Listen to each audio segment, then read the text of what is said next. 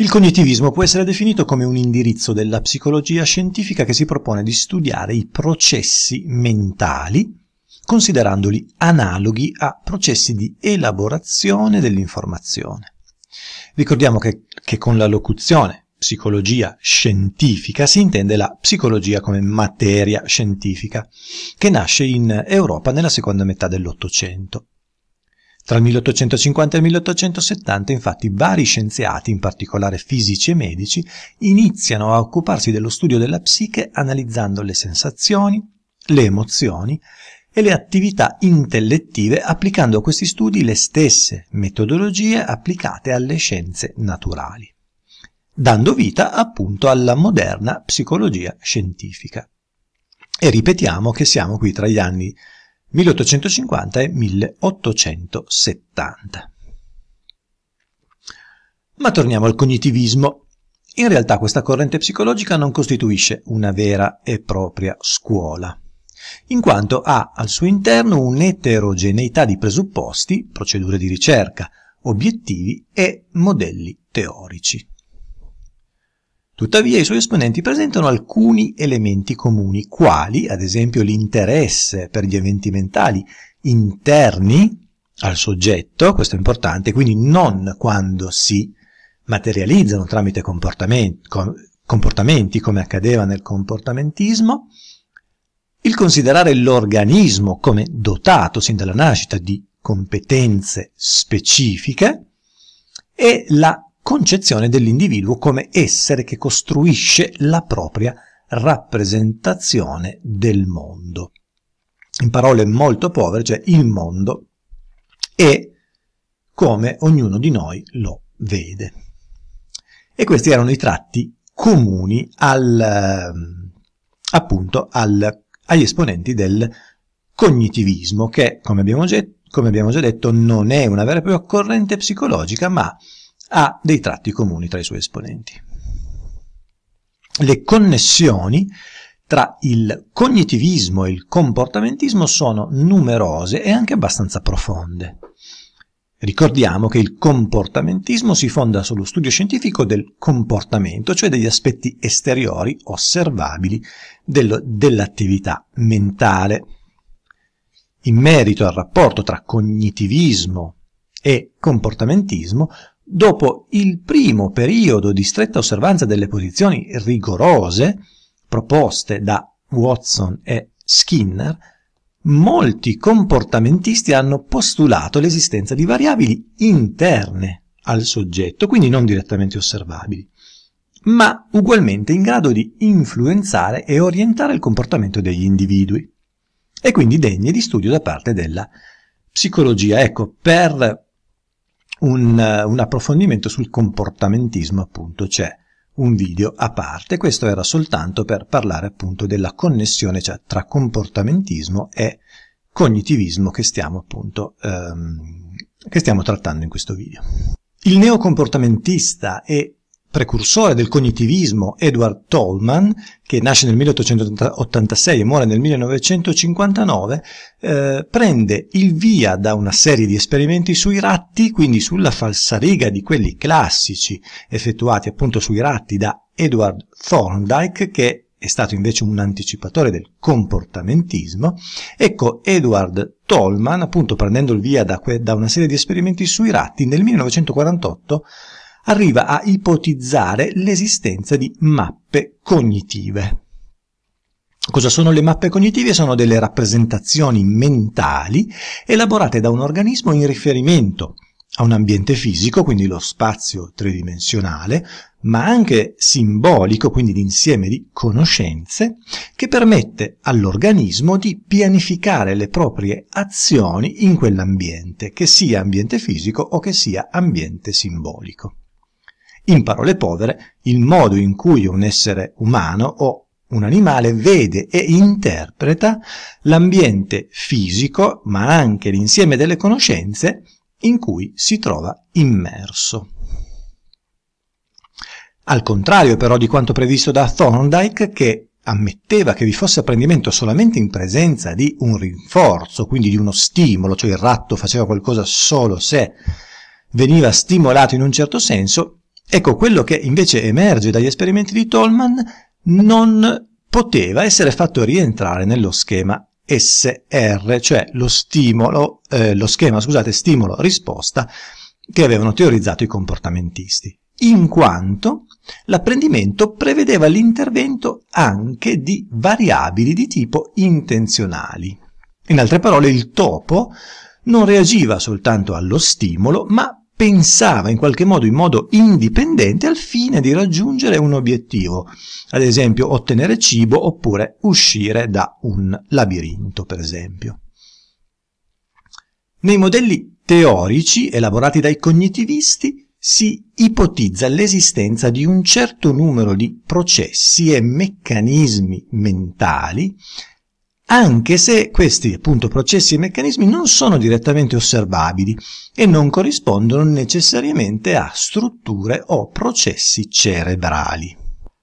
La nascita del cognitivismo si deve però eh, in gran parte all'utilizzo di idee tratte dalla cibernetica e dall'informatica, ai contributi dell'etologia e ad altri apporti, ad esempio quello della neurofisiologia, della matematica, soprattutto la teoria dei giochi, delle, delle decisioni e delle probabilità, e eh, e, all'apporto anche della linguistica, in particolare la grammatica generativo trasformazionale di Noam Chomsky. Allora abbiamo mh, introdotto termini non comuni, quindi cerchiamo di definirli velocemente. Allora la cibernetica è un ramo della scienza teorica e applicata, quindi entrambe, che studia e realizza dispositivi e macchine capaci, almeno in teoria, di simulare le funzioni del cervello umano, autoregolandosi per mezzo di segnali di comando e di controllo in circuiti elettrici ed elettronici oppure in sistemi meccanici.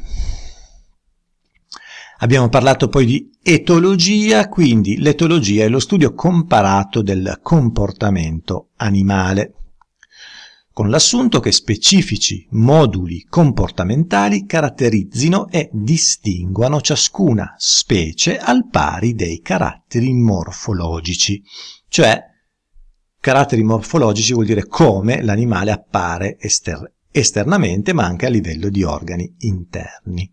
Quindi l'etologia parte dal presupposto che eh, il, gli animali, spe, specie animali, si distinguono non solo per i caratteri morfologici, ma anche per il, la presenza di specifici moduli comportamentali, quindi di comportamento.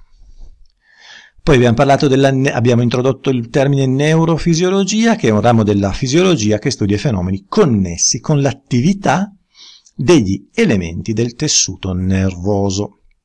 A sua volta la fisiologia è la scienza che studia le funzioni degli organismi viventi, animali e vegetali e mira a conoscere le cause, le condizioni e le leggi che determinano e regolano i fenomeni vitali. Quindi neurofisiologia, la fisiologia applicata a, um, a, tutti i fenomeni connessi con l'attività degli elementi del tessuto nervoso. Poi abbiamo la teoria dei giochi, un modello matematico applicato in diversi, in, in diversi campi, eh, al fine di studiare le situazioni competitive, in cui cioè sono presenti più persone o più gruppi di persone o più organizzazioni, dette appunto giocatori, con autonoma capacità di decisione e con interessi contrastanti. Abbiamo poi la teoria delle decisioni, questo è l'ultimo chiarimento, che è la teoria che studia con metodi matematici e statistici la decisione preferibile tra varie possibili, tenendo conto delle conseguenze derivanti da ciascuna di queste decisioni. Torniamo quindi al cognitivismo e diciamo che il cognitivismo comporta anche la rivalutazione di autori del passato, quali ad esempio Wilhelm Wundt, Franz Brentano, Frederick Bartlett, Edward Tolman e di esponenti della psicologia funzionalista e gestaltista, nonché il riconoscimento dell'opera di studiosi quali Jean Piaget e Jérôme Brunner. All'interno del cognitivismo si possono distinguere due correnti. La prima, denominata Human Information Processing, HIP, che significa elaborazione dell'informazione umana, si ispira alla cibernetica e sostiene l'analogia tra operazioni della mente umana e processi di elaborazione dei dati eseguiti dai computer. I primi modelli di funzionamento della mente umana, e questo è molto importante, quindi da qui in avanti teniamolo molto ben presente che stiamo parlando dei modelli di funzionamento della mente umana. Quindi, ripetiamo, i primi modelli di funzionamento della mente umana proposti dall'HIP negli anni 60 sostengono che la mente elabori le informazioni in maniera rigidamente seriale, cioè prima una, poi un'altra, poi un'altra ancora, e che la fase di selezione da parte della mente avvenga alla fine della sequenza delle operazioni di elaborazione. Questi modelli sostengono quindi che la mente umana abbia una capacità limitata di elaborazione dell'informazione e prevede canali di elaborazione autonomi, cioè che non si parlano tra loro, non sono connessi. Questi modelli hanno il merito di offrire un approccio alla materia relativamente semplice, ma i dati sperimentali non hanno sempre confermato appunto la validità di tali modelli.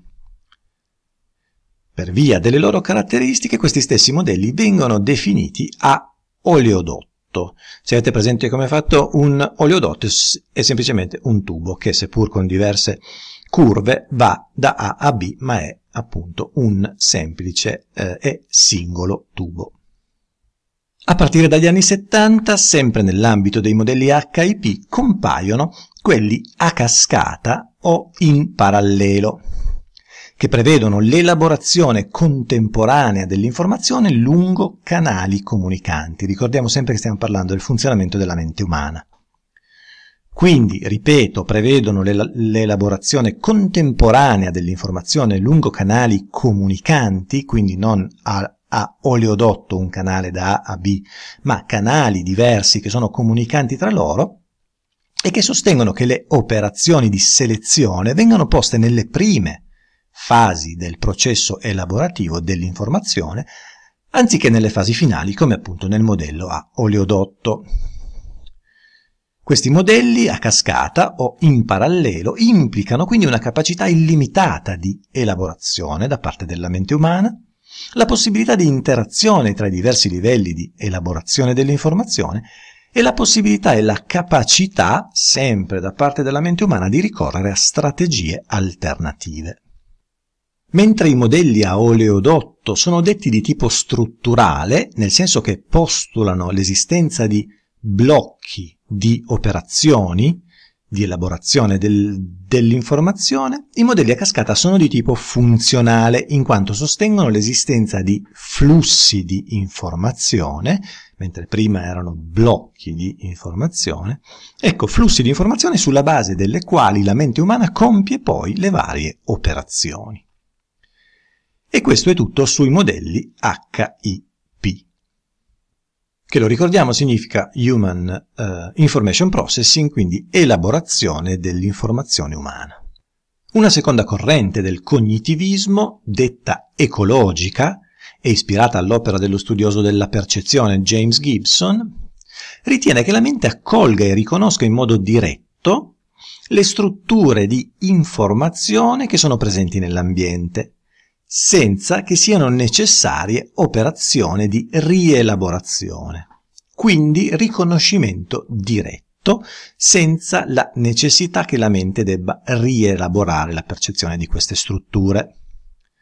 Ecco un chiarimento, ehm, ecologia, in quel caso appunto la seconda eh, corrente del cognitivismo detta ecologica, ricordiamo che il significato principale di ecologia non è quello da noi usato tutti i giorni, ma eh, in realtà il, il, il significato principale del termine indica quella parte della biologia che studia le relazioni tra organismi o gruppi di organismi e il loro ambiente naturale. Ambiente naturale inteso sia come l'insieme dei fattori chimico-fisici, ad esempio il clima, il tipo di suolo, la luce, il nutrimento, eccetera, sia come l'insieme dei fattori biologici, ad esempio la competizione, la simbiosi, il parassitismo, eccetera. Ecco, eh, insieme dei eh, fattori chimico-fisici e biologici che influiscono, possono influire sulla vita degli organismi stessi.